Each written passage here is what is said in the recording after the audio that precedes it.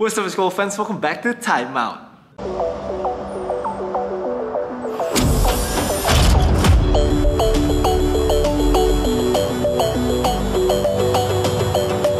Bareng gue Ricky Padilla, kita kembali lagi ke info basket harian dari si 30 Juli 2021 Time out gang, what an exciting day in the NBA Today. Kita tahu ada blockbuster trade antara Lakers dan juga Wizards yang kita akan bahas nanti. And of course it was NBA Draft Day today. Wah seru banget sih, thank you so much tadi yang sudah join juga untuk live chat gue Sebelum kita mulai time out hari ini sedikit update aja lah. Dari Justin Holiday, dia kayak kebingungan tuh.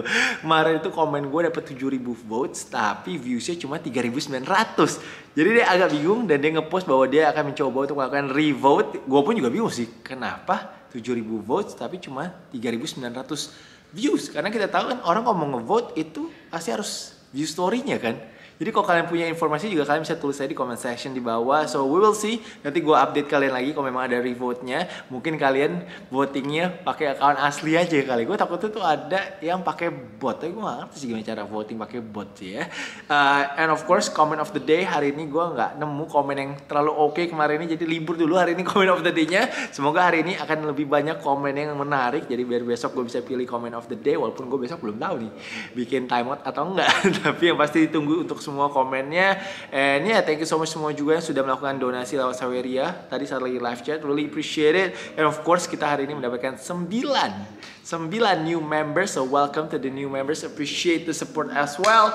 Langsung aja kita ngomongin blockbuster trade between the Lakers and the Wizards di mana Lakers mendapatkan uh, Russell Westbrook. Wah, gila sih. Gue lumayan kaget sih Russell Westbrook ini pindah dan juga mendapatkan 2024 second round pick dan juga 2028 second round pick. Emang kayak Wizards tuh perlu ya ngasih second round ini.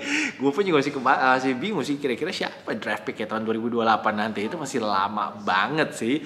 Sedangkan Wizards hari ini mendapatkan jagoan kita semua. Nggak jadi ke Shanghai Sharks yaitu Kyle Kuzma.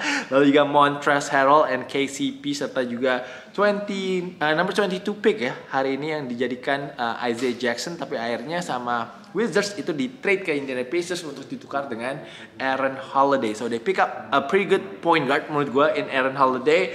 But Russell Westbrook is coming home to Los Angeles dan Lakers sekarang udah ada big three guys. Ada big three untuk menandingi Brooklyn Nets nih kayaknya ya.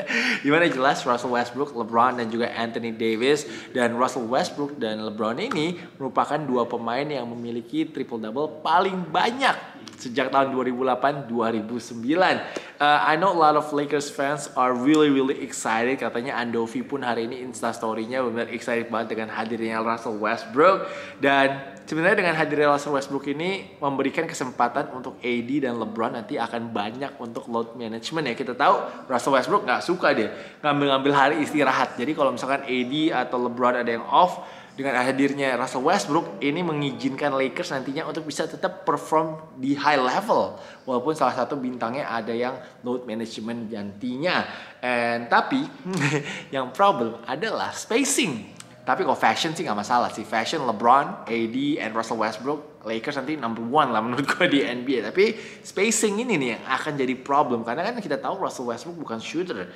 Dan Lakers sebenarnya itu kekurangannya adalah shooter. Jadi gue jujur masih agak bingung dengan move ini. Tapi jelas ya dengan hadirnya Russell Westbrook sih sebenarnya benar-benar elevate banget ya untuk kesempatannya Lakers menjadi juara musim mendatang ini. Um, Sebelum kita ngomongin tentang strateginya Lakers, tapi gue mau bilang juga kayaknya LeBron ini benar running the league ya. Ini pemain-pemain yang dibuang pemain-pemainnya clutch. Pemain-pemainnya dia nih, yang di agensinya dia yaitu KCP dan Montrezl, dua-duanya itu dikontrak sama si Clutch Sports. Jadi hmm, LeBron kalau maunya apa, dia dapat guys. dan ya, Sebelum kita ngomongin spacing juga, gue sebenarnya jujur bingung siapa kira-kira yang jadi main playmakernya nanti. Apakah LeBron atau Russell Westbrook? Kita tahu Russell Westbrook butuh bola juga di tangannya dia. Russell Westbrook is not a good shooter, sangat inconsistent sekali menurut gue. Uh, jadi nanti mungkin AD sama LeBron main pick and roll kali ya. Uh, nanti abis itu si Russell Westbrook itu mungkin nggak dengan spacingnya dia nggak nggak nunggu di luar gitu. Dia harus coba cutting. Karena dulu kayaknya Caruso sama Kuzma inget gue kalau mereka banyak cutting itu Lakers lumayan sukses tuh di tahun 2020.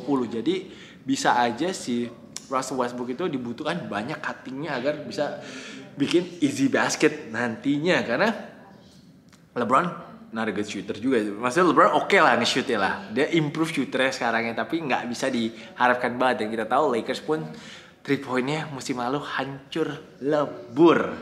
Dan ya menurut gue sih ini move kita nggak bisa prediksi lah ya. Tapi walaupun gue tahu memang kalau secara chemistry mungkin oke okay lah ya. LeBron, AD sama Russell Westbrook itu memang temenan deket gitu. Jadi kita juga nggak kaget sebenarnya Russell Westbrook masuk ke Lakers. But we have to see the chemistry nantinya gimana dengan pemain dan Lakers pun kita akan bahas juga nanti bentar. Nggak tahu pemain lainnya siapa. Tapi pasti uh, this move bisa jadi sukses banget atau bisa jadi disaster banget nih kalau egonya nggak ada yang turunin jadi kuncinya sebenarnya adalah egonya bintang-bintang ini harus diturunin sih. Dan kita tahu uh, championship window untuk LeBron ini benar makin lama makin kecil sih. Jadi mungkin next year bisa-bisa his last chance maybe untuk bisa menangkan championship. So we will see. But yang pasti salary cap Lakers sudah gila banget sih. LeBron 41 juta, AD 35 juta, Russell Westbrook 44 juta. Dan satu lagi ada Mark Gasol kayak 2,5 juta sih inget gua. Jadi ini empat pemain yang under contract. Walaupun tadi terakhir itu di NBA draft mereka akhirnya ngambil sih uh, siapa namanya? Joel Ayayi kalau namanya dari Gonzaga. Uh, two way contract. Jadi jadi ini menarik nih. Tadi ada nanyain gue tentang salary cap Lakers. Gue juga nggak tahu main mungkin mereka akan bayar luxury tax mahal banget. Tapi sekarang ini mereka yang punya pemain under contract ya lima berarti. AD LeBron Russell Westbrook Joel Ayayi dan juga Mark Gasol. Tujuh lagi, sepuluh lagi gue gak tahu nyarinya gimana nih. Karena ya bakal banyak veteran minimum kontrak ya Jared Dudley lah ya masukin lah satu lah Jared Dudley mungkin ada di situ nantinya. Itu kan udah jadi pengawalnya LeBron juga tuh. Ikutan juga main ke Sierra Canyon so just count him in count, count in him count, count him in. Lalu juga mungkin J.R. Smith Swish. Swish kayak mau lah uh, veteran minimum juga. Jadi dua pemain itu gue expect mungkin akan ada di rosternya Lakers di musim mendatang ini. Uh, PR sih pusing sih itu jadi si Rob Pelinka sih ngumpulin pemainnya nanti sih dengan gaji ya udah segitu. Antara empat pemain itu dan Russell Westbrook ini jadi pemain MVP pertama kayaknya yang di trade ya tiga musim berturut-turut. Uh, but gue tadi harapin banget sih dia stay di Wizards ya karena it was fun to watching him and Bradley Beal bisa bawa uh, Wizards sampai ke NBA playoff kemarin ini. I thought they gonna give it one more try at least one more run. But hey kayak Russell Westbrook udah kebelet pengen pindah ke LA dan juga pengen menang ya pengen mencoba untuk menjadi juara. Dan Wizards timnya dirombak abis tapi katanya si uh, Bradley Beal itu intends to stay with the Wizards. Walaupun gue agak kaget kalau Russell Westbrook pindah dia masih mau stay di Wizards gue agak cukup kaget. Tapi Kyle Kuzma guys apakah Kyle Kuzma bisa jago masih mendatang di Wizards? Kalau gue bilang Kyle Kuzma kalian bisa pick up di NBA Fantasy nanti harus pick up sih. Karena Kyle Kuzma ini punya potensi bagus, punya potensi bagus. Dan karena ini dia udah gak main di LA, udah gak main sama LeBron, I think the pressure is off gitu loh. Jadi gue harapkan permainan dia akan bisa keluar. Gue expect dia akan bagus sih di Wizards sih nantinya sih. Uh, jadi kan karena orang nggak ekspektasi dia mungkin nggak terlalu tinggi banget, jadi dia bisa mainnya lebih lepas lah ya. Um, Ya, yeah, Montrose juga I think gonna play really well juga. Uh, di sana dia bisa duet nanti sama Daniel Gafford. I think that's gonna be fun to see. Uh, KCP, gue nggak tahu nih apakah akan di keep atau nggak sama Wizards nantinya. Tapi yang pasti not a bad team though for the Wizards. Bradley Beal, um, Aaron Holiday, Kuzma, Rui Hachimura, Rui Hachimura juga kayak tahun depan boleh tuh diambil di NBA Fantasy. I think he's gonna be really good too next season. Uh, lalu ada Danny Gafford, uh, lalu ada Danny Avdiya. Wah, itu juga masih muda-muda semua tuh akan jago dan juga hari ini mereka pick up Corey Kispert uh, for their number 15 draft. Uh, I like it. I like I like I like the team. I think uh, mereka bisa jadi dark horse nantinya di Eastern Conference. So itu dari trade-nya Lakers and Wizards. Lalu hari ini ada trade juga antara uh, Cleveland Cavaliers dan Minnesota Timberwolves di mana Cavaliers akan mendapatkan Ricky Rubio dan katanya Ricky Rubio ini akan stay di Cleveland Cavaliers. Uh, makin banyak aja guardnya. Lalu juga uh, mereka mengirimkan Torian Prince ke Minnesota Timberwolves. Lalu juga ada Mason Plumlee yang dipindahkan ke Charlotte Hornets. Lalu Landry Shamet yang pindah ke Phoenix Suns ditukar dengan Javon Carter dan juga 29 pick dari Phoenix Suns di mana menjadi Cameron Thomas dan Cameron Thomas ini menurut gue akan bagus nih nanti kayak untuk si um, untuk si Brooklyn Nets. I think he could be a steal though. 23 point per game in college Uh, great scorer man. Katanya mirip banget mainnya sama CJ McCollum. Uh, ya, yeah, ngomongin NBA draft hari ini jelas number one pick is Kate Cunningham, number two Jalen Green, and number three yang surprise ah, nggak surprise sih Evan Mobley, Evan Mobley ke Cleveland Cavaliers dan yang surprise adalah nomor empat. Nomor empat kita nggak nyangka semua kirain Toronto Raptors akan ngambil Jalen Suggs, tapi ternyata ngambilnya Scotty Barnes. Scotty Barnes diambil sama si Toronto Raptors, and number five baru Jalen Suggs ke Orlando Magic. Nah, kita ngomongin beberapa winners yang menurut gue gue langsung aja sih uh, menurut gue yang kayaknya bakal bagus. Yang pertama Atlanta Hawks. Gue gak tau kenapa gue suka banget mereka mengambil Jalen Johnson dan juga Sharif Cooper. I think those two players are really really solid.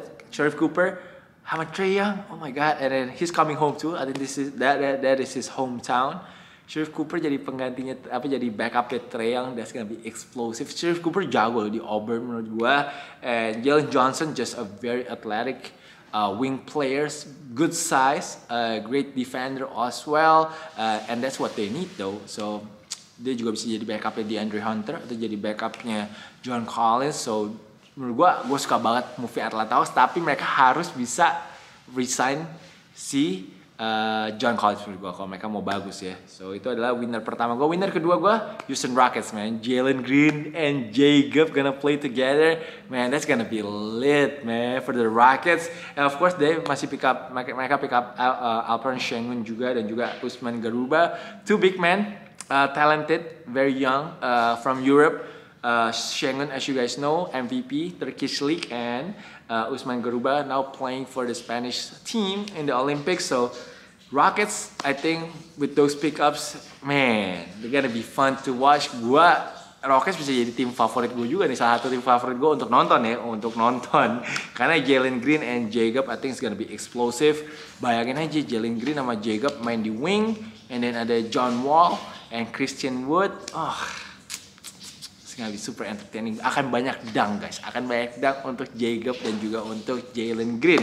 And number three, I like Charlotte Hornets man. They're getting uh, James Booknight yang menurut gue harusnya ada di top 10 tapi ternyata dia di, dia slip ke nomor 11 and di pick up sama Charlotte Hornets Lamelo, James Booknight Ah, oh my god, that's a good backcourt man. Backcourt tandem. Lalu juga mereka ngambil Kai Jones.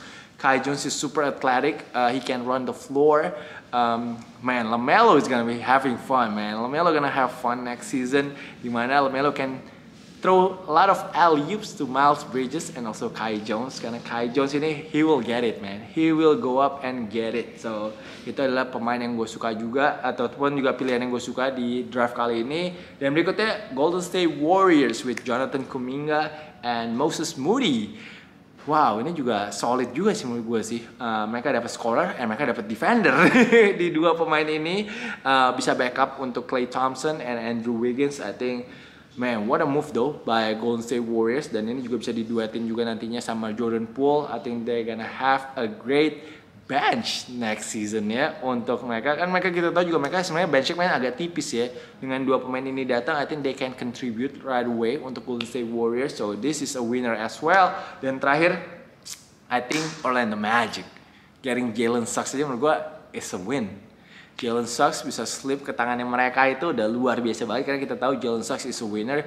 Kok seperti gue bilang, kalau dia tiga medali emas bersama tim USA and of course uh, sama Gonzaga dia masuk final juga and kalau kalian ingat kemarin dia sempat nembak dari tengah lapangan itu juga. So yeah man, a big win for the Orlando Magic dengan Jalen Suggs and of course dengan Franz Wagner too. Franz Wagner juga pemain yang solid forward. Uh, bisa duet nanti mungkin dengan uh, Mo Bamba dan juga Wendell Carter Jr. So great match juga untuk para fans ya Orlando Magic. They have a solid solid squad man and Jonathan Isaac is coming back as well. Masih ada Cole Anthony juga dan juga Markel Fultz uh, dan juga RJ Hampton nggak boleh lupa ya. And Clippers gue, I'm happy with my Clippers as well. Actually Clippers gue gue lumayan kaget sih pilihannya mereka oke okay semua sih menurut gue hari ini. Keon Johnson, Quinton Grimes walaupun gue gak tau si Grimes ini tapi kata kata subscribers gue dia lumayan jago lumayan bagus. Lalu juga ada BJ Boston. So three solid picks man for my Clippers. So I guess they're a winner as well. And biggest question tapi OKC Thunder they are gambling on Josh Giddey. Uh, Josh Giddey sih lumayan lumayan high tapi gue gak nyangka kalau dia bisa sampai nomor 6 sih. Nomor 6 tuh lumayan tinggi sih uh, OKC Thunder ya. Uh, So we'll see apakah akan pay off atau enggak nih gamblingnya si OKC Thunder. And number 12, Joshua Primo. Gue nggak tahu itu siapa. uh, diambil sama San Antonio Spurs. Kalau kalian punya informasi lebih kalian boleh tulis di comment section di bawah. Tapi itu adalah dua pilihan yang menurut gue lumayan questionable. tapi kita lihat aja siapa tahu gue salah ya. And next kita akan ngomongin tentang fashionnya para pemain hari ini draft night jelas banyak sekali iconic fashion uh, biasanya biasanya dulu ada jas yang panjang-panjang juga.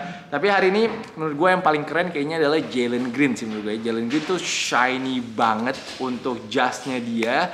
Uh, really nice though. I like I like his suit. And of course Kai Jones dengan suit pinknya juga. Ini juga menarik perhatian sekali. Uh, dengan menurut gue this is pretty that is pretty nice though untuk suitnya si Kai Jones. And lalu ada Jalen Suggs looking very sharp menurut gue dengan suitnya dia juga. And Jonathan Kuminga dengan orange suitnya dia. Wah ini harus pede nih pakai orange suit kayak gini sih. Tapi menurut gue yang paling keren adalah bajunya atau jasnya Isaiah Jackson. Gue gak tau kenapa gue suka banget dengan motifnya itu loh. Itu yang bikin keren sih. Wah cakep banget lah pokoknya ini si Isaiah Jackson. Bajunya gue suka banget. So itu adalah time out hari ini guys Thank you so much to guys for always supporting this channel. Gue nggak ada bosen-bosen sih ngomong itu. Gue harapkan juga kalian nggak bosen dengerin karena memang menurut gue ya kita tahu lah ya basket ini belum lah olahraga utama di uh, Indonesia. Jadi gue kalau ada yang nontonnya udah seneng men ada 6 ribu, 7 ribu penonton, 8 ribu tuh gue udah kayak oh my god thank you so much man karena gue tahu nonton Taiwan itu setiap harinya. Hampir tiap hari ya sekarang. Gue ada udah lumayan ngambil break banyak nih karena udah off season. Udah off season kadang-kadang kalau beritanya lagi nggak ada yang oke-oke banget gue istirahat aja lah mendingan. Karena ntar kan kita tahu lah kalau udah satu season udah NBA season udah mulai lagi kita satu season cuma liburnya satu hari seminggu biasanya. So ya yeah guys hopefully you guys enjoy to this episode. Ini seru sih menurut gue obrolan kita lumayan seru sih hari ini. Gue seneng banget sih bikinnya. So thank you so much guys for watching. Jangan lupa untuk like jangan lupa untuk comment and jangan lupa untuk share juga kepada teman-teman kalian. And thank you guys for watching. I will see you guys again tomorrow. Peace out